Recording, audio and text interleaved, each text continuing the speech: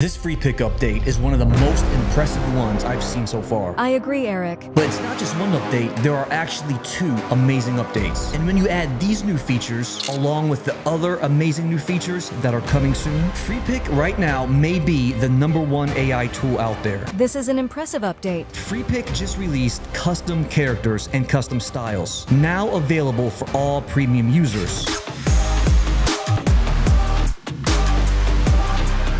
My opinion, this one I'm sharing today is one of the best character consistency tools I've used by far. So to start, let's first take a look at custom characters. And then from there, I'm going to show you these amazing new custom styles. And now right off the bat, you can see I've already have been doing this nonstop. Here are a few images of myself in addition to my AI influencer right here named Luna. Hi, I'm Luna. Nice to meet you. Now, to be honest with you, this is going to be the best character consistency I've used so far when it comes to using your own specific photos. Make sure you hit that subscribe button. Now, this image you see right here is directly from a YouTube video screenshot, and I was able to generate this specific photo of myself. Okay, so now that we're on this page, the next thing you want to do is over here on the left-hand side, you should see it's called character right here on the left. Once you select that, you're going to have these options populate, okay? Now, here's where the fun part begins. Now, you can see right now, I already have two custom characters already built like I said, here's one of myself, and then now here is my AI influencer. In order to start this process, just go ahead and select new character by selecting this button right here or in the top right hand corner, new character. Either way, it's going to take you to the same place, which will be this location right here. Now, right off the bat, you have two options, quality or ultra. For me, I've been using high and it's been doing a fantastic job. Now, you first want to train your model, okay? And it says right here specifically, use 12 to 24 images, although 5 5 to 25 can work. This range captures details without being repetitive. So what you want to do first is just come up with anywhere between 12 and 25 images. But the more images with more detail you have, the better of a job it's going to do. And I'll show you exactly how to do that in a second because you can either click and drag the images themselves or you can just simply compress them and then upload one big zip file. Okay, so to get started, let's first do this with our AI influencer, then I'll show you how to do it with yourself. I'm over here in my Mega Prompts database, okay? Now Specifically, I'm in the AI art prompts tab. I can instantly see all of my favorite images, and this is going to be so incredibly important because when you have access to images fairly quickly, it's going to make all the difference in the world. So right off the bat, I can see right here already are two images of my influencer named Luna, okay? So I have two images right here I can use to upload. I'm going to have about 15 right here. And so once you have them in one location or all of your images together, the next thing you want to do is simply compress them into a zip zip file. Now that's not necessary because it says right here you can go ahead and upload the images and then just select them one by one. But in this case, I want to go with the most simplest method. Now there is my large zip file. And like I said, you can upload these one by one.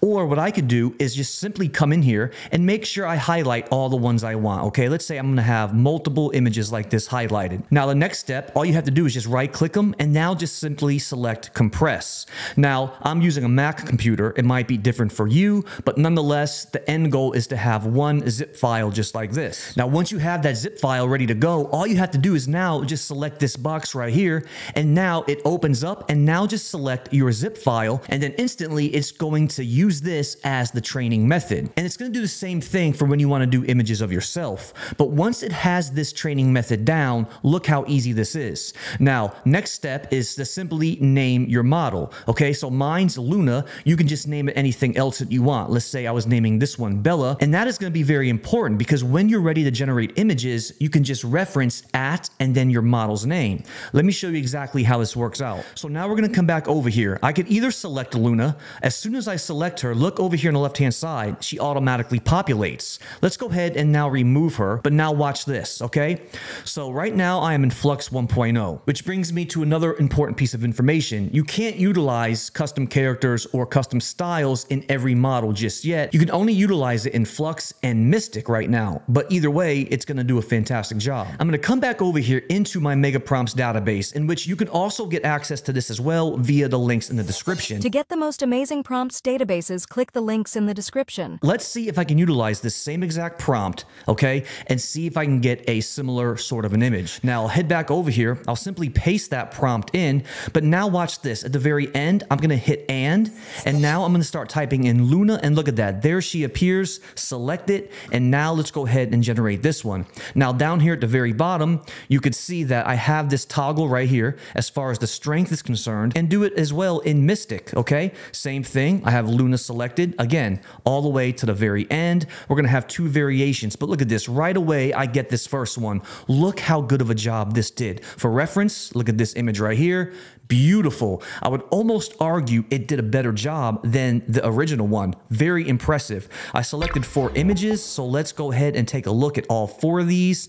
And I have to tell you, this did a phenomenal job. Now, these first four right here were done in Flux 1.0, but again, look at the clarity and look at how accurate it got my character. I've never had one do such good of a job. And now look at this one right here for Mystic. Amazing. So just like that, you could see how quickly I was able to get these consistent characters. But now look at this one. This did it perfectly. She is definitely the same exact character. Character, it's exactly what I was wanting. The color scheme is still there. It did a fantastic job. Look at these images I got earlier today. All I did on this one was I just said woman in the cyberpunk city and then there it is. I did at Luna. Boom, just like that. There she is. And all of these turned out incredibly fantastic. The most simplest prompt, woman in the cyberpunk city, and then I just added at Luna. Incredible job. Even when you say extreme close up, it really did get the details very good. Now this time I want to utilize one of my most favorited prompts, and that is going to be this image right here. You can see up here at the top, I am in my Freepik tab. I gave it its own special place because it's been doing such a great job, okay? Now here is the long prompt right here, and now here is what the image is going to look like. Let's see if I can get exactly what I was wanting. Now while this is thinking, let me go back over here to character and then just remind you how you can follow the same exact process when you want to use an image of yourself. Here's my model of myself, Eric. The process is going to be the same exact thing you did when I showed you how to generate an AI generated image. It's the same thing. This time, instead of uploading AI generated images to train your model, you'll now just simply get images of yourself off of your phone or camera and then just upload those as well. Okay, now look at this image. This image did do a fantastic job. Beautiful. It got everything exactly how I was wanting. Now that was character consistency. There are so many things you can do with it. Experiment with it. You're going to get some amazing results. But now let's move on to our styles, okay? And customize them to use over and over again. Now, this process is also very simple. In order to find styles, it's going to be the same exact thing. Over on the left-hand side, just simply select style and open that up. I made one right here. You can already see my model. But let's do the same thing. Just select new style. Now check this out. We're going to have a few different things we can do. Now, right off the bat, you have generate from prompt or image, okay? it's going to follow the same principle. If you want to generate from a prompt, all you have to do, type in one of your favorite prompts, okay? So let's try that. I'll come back over here to my database and I'll select my Freepik tab because I already know which one I want to use. And here is the whole entire prompt, just like that.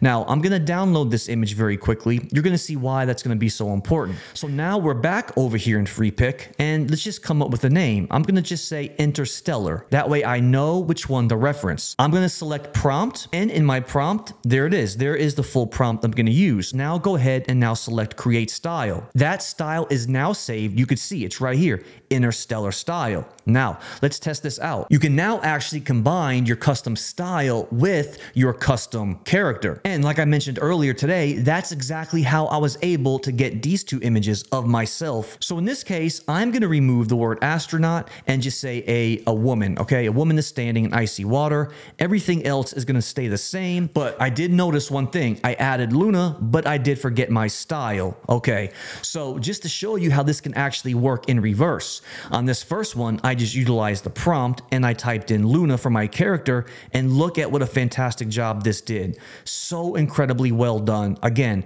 this has to be the best model right now for custom characters. Now let's make sure we add our style. Now that I have my style already created, here it is. I'm going to select Interstellar. Now my style is selected over here on the left hand side and I'm not even going to utilize a prompt. That's unnecessary because my style has already been trained. Okay. Now I can also add Luna as well. So I have my style and Luna selected. But now look at this. For my prompt, this is all I'm going to say. Cinematic wide angle let's just see, very simple. Because again, I should still get my images looking very similar to this because my style has been created and my style has been trained. And then look at that, there you have it, amazing job. Let's try to create one that's gonna look more Pixar style related. But now let's try it with images, okay?